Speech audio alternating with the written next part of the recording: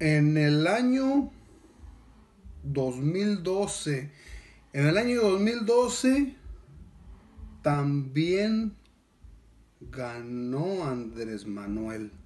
En el año 2012 también ganó Andrés Manuel. Y le robaron los votos igualito el 2006. Pero no puedes leerlo de corrido. Que sea de corrido. ¿De corridito? De corrido. En el año 2012 también ganó Andrés Manuel y le robaron los votos igualito al 2006. No mames, ahora sí me cagaste los huevos.